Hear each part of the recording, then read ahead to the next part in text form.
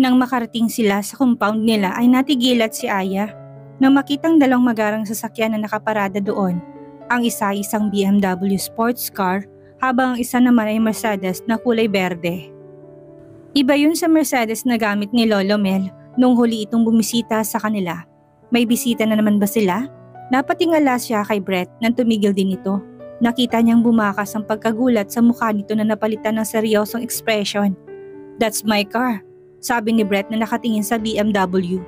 And that one is, hindi na nito tinapos ang sinasabi nito. Bumitaw ito sa kanya at mabilis na nagpatiuna sa bahay nila. Nitong napasunod na lang si Aya dito, nang makarating siya sa bahay nila ay nakapasok na si Brett sa loob. Ang una niya na bungaran ay ang nakatalikod na si Brett habang yakap ito ng isang may edad na babae na may luha sa gilid ng mga mata. Brett, iho, I'm glad you are okay. I can't believe Papa made you do this, sabi pa ng babae. What are you doing here, Mama? May kalamigang tanong ni Brett sa babae. Bahagyang lalaki ang mga mata ni Aya. Ang mama ni Brett ang bisita nila? Nagpunta ba ito upang kamustahin si Brett? Sinusundo na kita anak. I talked to your grandfather. Nakiusap ako sa kanya na pabalikin ka na. It doesn't matter if you are not the president of the company. As long as you come back, Brett. Kahit ang papamuhay yun ang gusto. We realize we are wrong to pressure you to do what we want. With that, we are sorry. Kaya nakiusap kami sa lolo mo na bigyan ka ng isa pang pagkakataon. Pinapatawad ka na niya, iho. Kaya nga pinadala na niya sa akin ang kotse mo. Nandito na rin ang susi ng sasakyan at unit mo. Ibinalik na rin niya lahat ng cards mo. You can come back now, son. Mahabang sabi ng mama nito. Napako si Aya sa kinatatayuan. Aalis na si Brett Babalik na ito sa dati nitong mundo, tila may sumipa sa sikmura niya sa nalaman. Napahawak siya sa pinakamalapit na dingding upang manatiling nakatayo dahil biglang nanlambot ang mga tuhod niya. Hindi nagsasalita si Brett. Kahit ang mga magulang niya na naroon ay tahimik lamang at wari, hinihintay na magsalitang binata. Noon ito lumingon sa kanya. Nang magtamang kanilang mga mata ay nakita ni Aya na may kislap ng pagkalitong mga yon. Tila hindi nito alam kung matutuwa ba ito o hindi Parang may pumipiga sa puso ni Aya nang mabasa niyang paghingi ni Brett na opinyon niya. Kung magiging makasarili siya, ay mas gugustuhin niyang manatili doon si Brett para lagi pa rin niya ito makakasama. Pero alam niya na hindi ito para sa lugar nila. He was born a prince and he will always be one. Mas bagay dito ang dati nitong buhay. Hindi nga ba kanina nagsasabi ito sa kanya na nahihirapan ito na wala ang dating luho nito? Sino siya para pigilan tong bumalik sa nakasanayan nito? Isa pa, alam naman niya sa umpisa pa lang na hindi naman permanente pananatili ni Brett sa kanila. Napasasaan pa ay babalik din ito sa dati nitong buhay.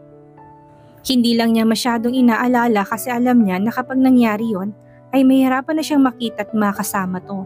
Sa kabila ng pagsisikip ng dibdib niya ay nagawa niyang ngumiti. Isn't that great? Tapos ng punishment mo, I know you've been dying to go back. Hindi ka para dito, aniya rito. Hindi ito nagsalita't na natiling nakatitig lang sa kanya. Nahigit ni Ayang hininga nang makita niyang naging malamig ang mga mata nito. Ah, you are right. Walang emosyong sabi ni Brett, tila patalim na sumaksak sa dibdib ni Aya. Ang sinabi nito. See, kahit ito ay yun ang opinyon. Naramdaman ni Aya ang pag-iinit ng gilid ng mga mata niya pero ayaw niya umiyak sa harapan ng mga to. Hindi niya inaalis ang ngiti sa mga labi niya. Yeah, okay. Pupunta na ako sa kwarto ko. Congratulations sa pagbabalik mo sa normal na buhay mo.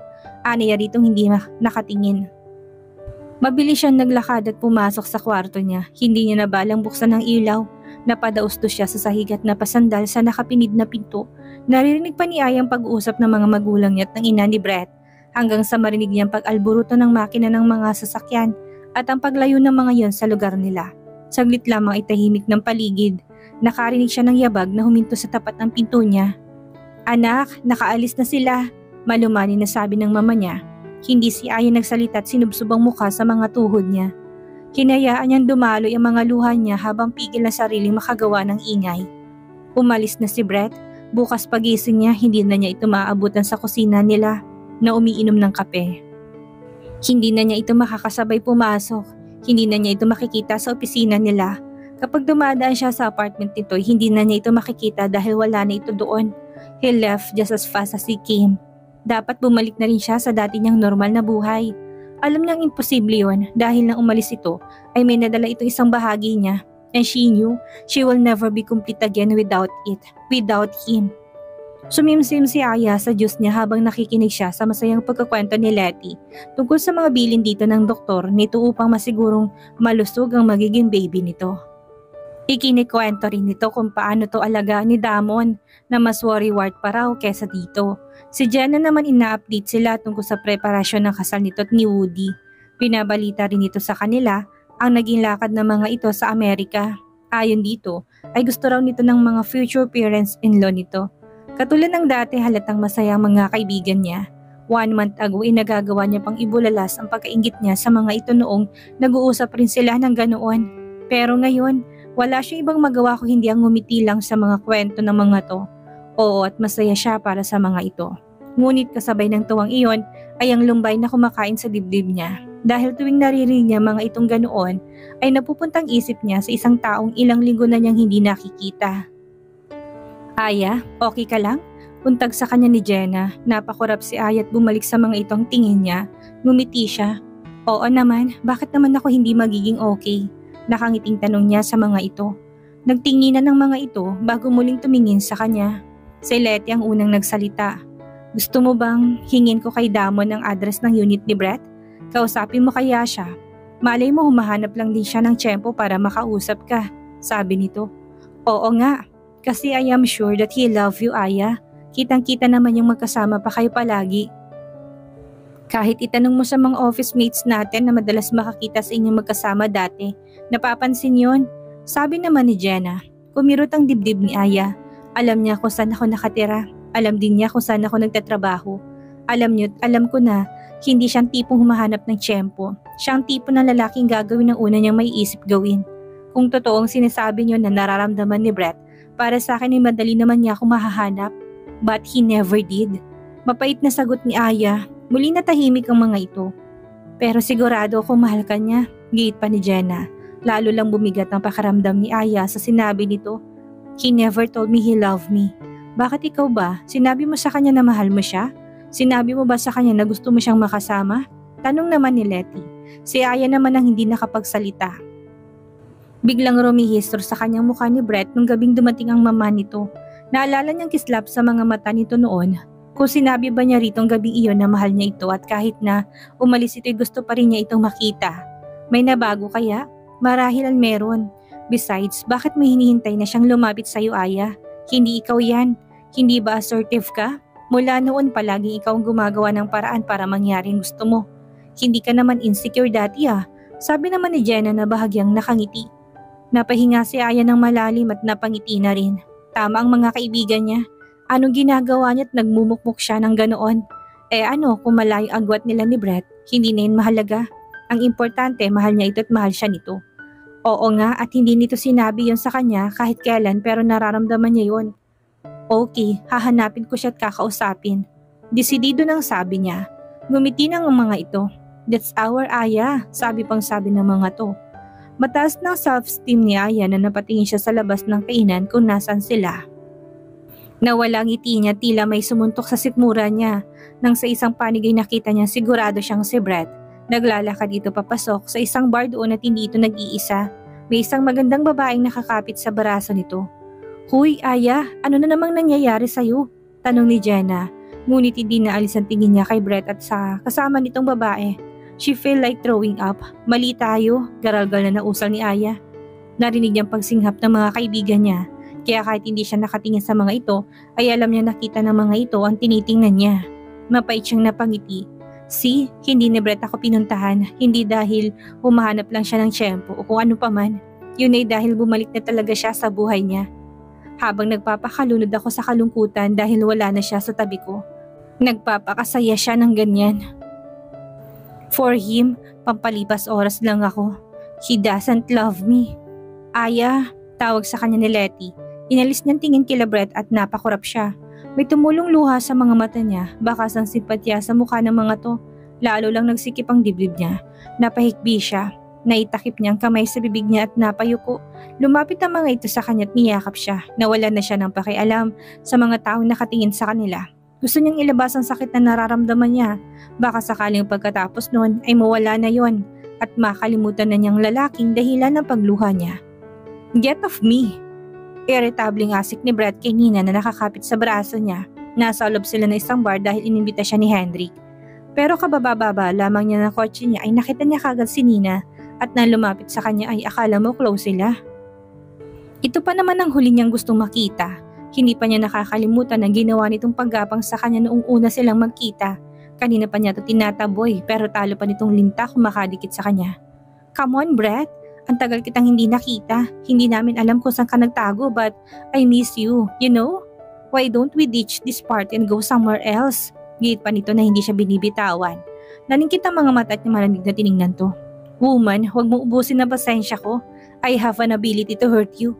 Malamig na banta ni Brett dito. Bumakas naman ang pagkagulat sa mukha nito at lumuwag ang hawak sa kanya. Ginamit niya ang pagkakataong iyon upang tuluyang makalayo dito. Inis na lumakad siya patungo sa VIP couch kung nasa ng mga kaibigan niya. Pabagsak na mo po siya doon. Brett pare, what's with that face? It's been so long since you went out with us pero ganyan ang itsura mo. Natatawang sabi ni Hendrik sa kanya. Inabutan siya nito ng isang baso ng brandy. Hindi siya sumagot at tinanggap ang alak. Masyadong maingay sa paligid at sumasakit ang tenga niya. Weird, dati sanay siya sa ganong ingay. Pero ngayon napakasakit nun sa ulo niya. Maging ang amoy ng alak at sigarilyo. Ang mga kwento ng mga barkada niya tungkol sa mga bansang napuntahan na mga to. O ang mga babaeng naikama nito yung nagpapasakit sa ulo niya. Katunayan, sa loob ng ilang linggong nakabalik siya sa dati niyang buhay, ay narealize niya na nawala na siya ng interes sa mga dati niyang ginagawa. Everything seems to be him. Sa tuwing ay bumabalik ang isip niya sa naging buhay niya sa loob lamang ng dalawang linggo, partikular na sa nag-iisang babaeng nagawang bulabugi ng mundo niya. Kay Aya, hindi ilang beses niyang naisip na puntahan ito pero sa tuwing na ay napipigilan siya ng mga salitang binitawan nito sa kanya ng gabing sumulpot ang mama niya at sunduin siya. Nung mga oras na yon ay hinihintay niyang sabihin ito sa kanya na huwag siyang umalis dahil yun mismong nararamdaman niya ng mga oras na yun. Sa halip, ibang narinig niya sa mga labi nito. Hindi ka para dito. Those words hit him to the core. Para na nitong sinabing ayaw na nito sa kanya, na hindi sila bagay. Kaya umalis siya doon na puno ng sama ng loob. How could she say that to him after all that happened between them? She was ruthless.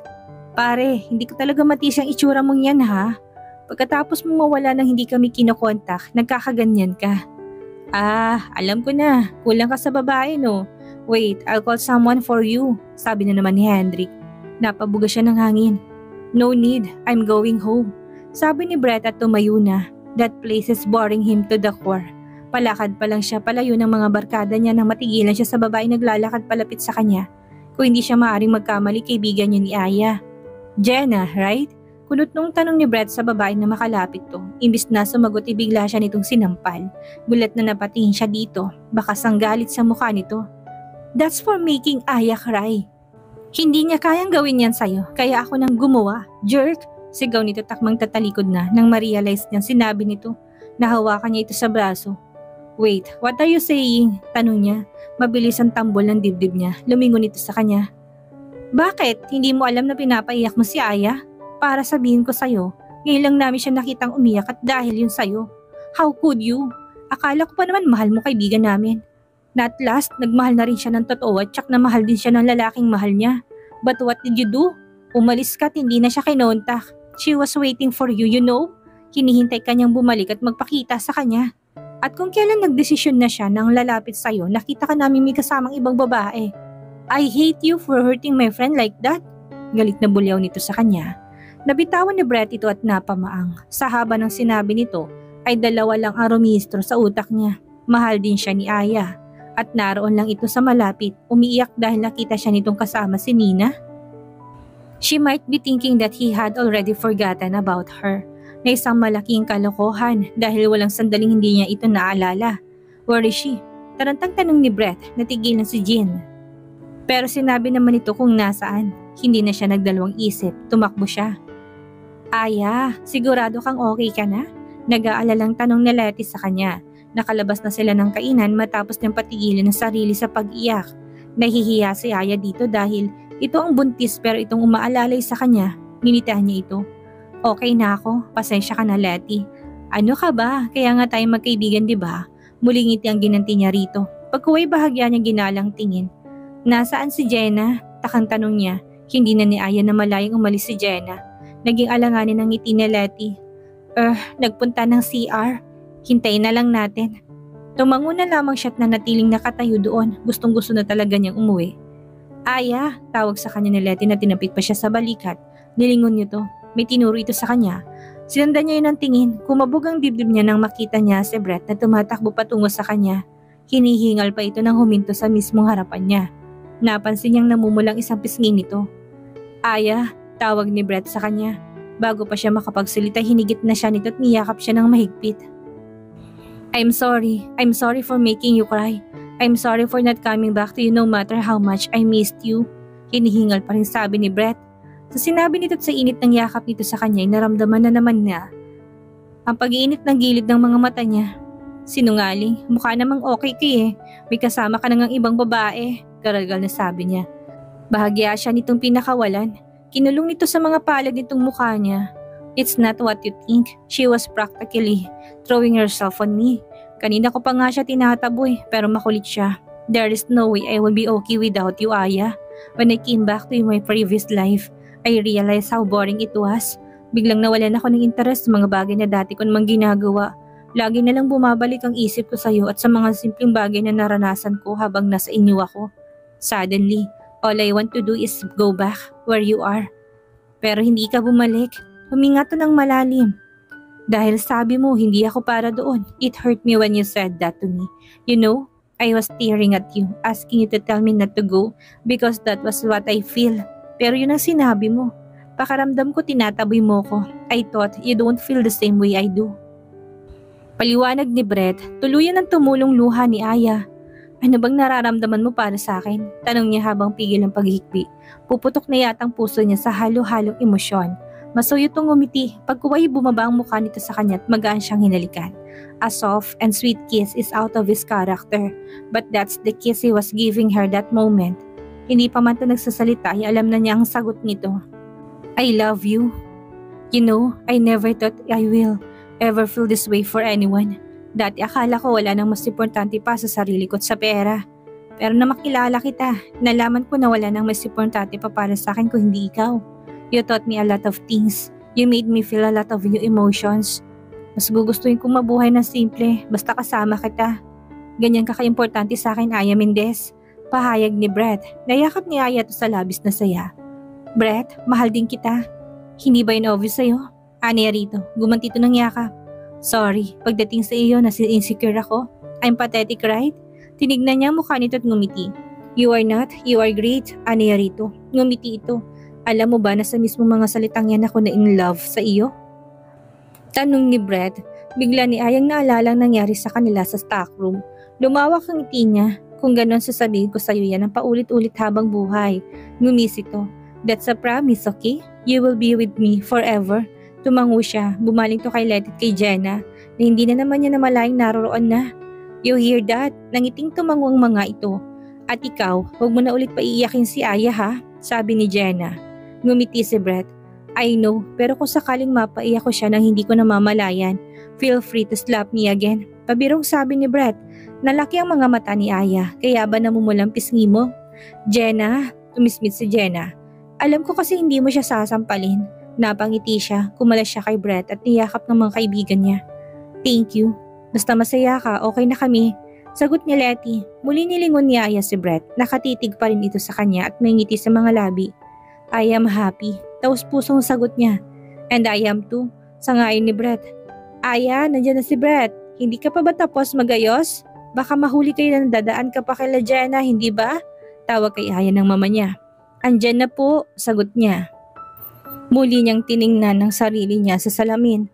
Nakasuot siya ng pink na bestida. Maayos ang makeup niya at ang buhok niya nakaayos. Pagkatapos makontento sa reflection niya sa salamin ay lumabas na siya ng silid niya. Naabutan niya si Brett na nasa kusina kasamang papa niya at si Lolo Mel na umiinom ng kape.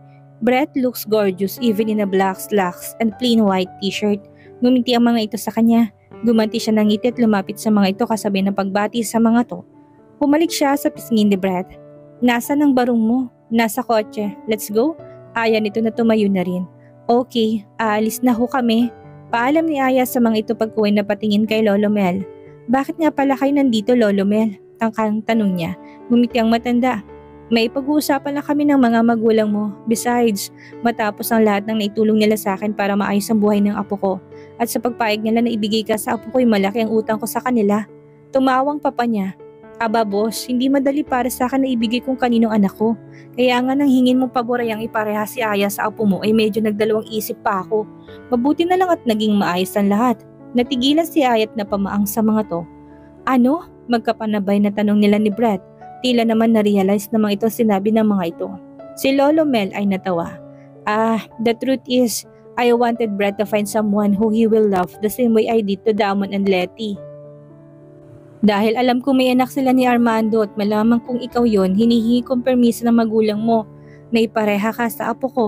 Kaya ako siya pinatuloy dito at ang rason ko bakit ko binalik na sa kanyang lahat ng hindi lang dahil nakiusap ang mga magulang niya sa akin. Kung hindi dahil nakita kong nalaman na niyang gusto kong matutunan niya to love someone unconditionally and to find what is most important to him. Ikaw yan, Aya. I am a good matchmaker, you see? Anito sinamahan pa ng halakak Nagkatinginan sila ni Brett marahil kung noong umpisa sinabi ng mga itong tungkol doon ay baka nagalit siya. Pero iba ang kaso ngayon, she loves him. Mukhang ganun din ang iniisip ni Brett dahil ngumingit ito at hinawakan ng kamay niya. Naku, hindi pa kayo maalis. Sige na't lumakad na kayo. Tabi naman ng mama niya sa kanila. Nagkatinginan sila ni Brett bago tumalikod sa mga ito. Bago nilang may sarang pinto'y tila narinig pa niyang sinabi ni Lolo Mel. Ngayon, pag-usapan na natin ang kasal ng bata. Napatigil si Ayat, ganun din si Brett. Pagkuway nagkatinginan silang dalawa. Narinig mo bang narinig ko? Tanong ni Ayat dito. Napakamot sa ulo. Well, uh, I told them while we were waiting for you that I wanted to marry you. Masyado talagang madaldal si Grandpa. Nalaman mo na bago ako makapag-propose. Anitong may bahid ng inis na pahagikik si Ayat niyakap to. Okay lang, kung wari hindi ko narinig, biro niya. Natawa ito tinawakan siya sa bewang. Tara na nga bago ako may magawa sa'yo na magpapalit sa atin. Natawa siya at nagkaagapay silang nagtungo sa kotse nito. Sa araw na yun ang kasal ni Jenna, bigla ni Ayang naisip na noong unang sabihin ni Jenna ang ikakasal na itin na mamroblema pa siya kung may masasama siyang date. Ngayon ay meron nga siyang kasama at ikakasal na rin siya. Kunwari nga lang na hindi pa niya alam. Hindi na napagkita ang ngiti niya. Nang makarating sila sa simbahan ay marami ng tao. Agad nilang nakita si Letty at ang asawa nitong si Damon. Dahil malapit na itong mga anak at malaki ng tiyan ay hindi na ito nag-aabay sa kasal ni Jenna. Nagkamustahan si Damon at Brett na mas maayos ng relasyon mula nang magdesisyon si Brett na magtrabaho sa Valencia Furnitures. Ngayon ay ito na ang Vice President for Operations. Nalalaman niya matagal na palang nakalaan dito.